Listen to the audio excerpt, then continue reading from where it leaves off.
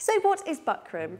Buckram is a stiff woven fabric typically made from linen or cotton or maybe both.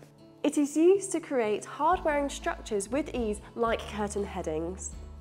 Let's take a quick look to see how we can add it to your curtain heading. For our heading allowance, we've literally just allowed five centimetres and all I've done is turned our heading allowance five centimetres and then doubled it over. So our raw edge has gone into a crease line and then I've just popped it under. So that's our heading. All you'll see then is the lining, which will give us a, um, a lovely straight edge to stitch along. We're ready to pop our buckram in. Today we're using single-sided fusible buckram, which basically means you've got an adhesive on the one side and you can see which side it is because it's shiny.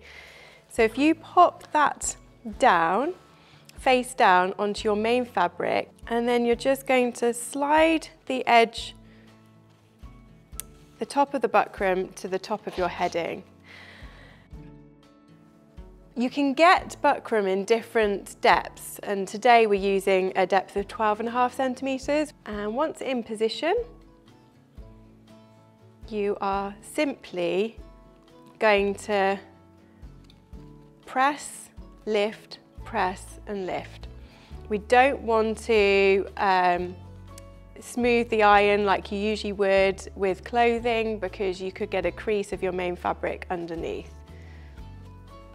So when you're happy with the position, we're just going to press just for a few seconds and move it along.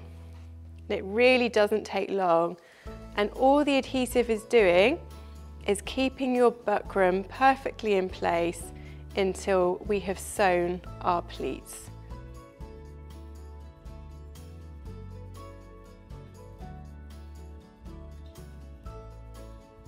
And that's it. It is as simple as that, just to pop your buckram in.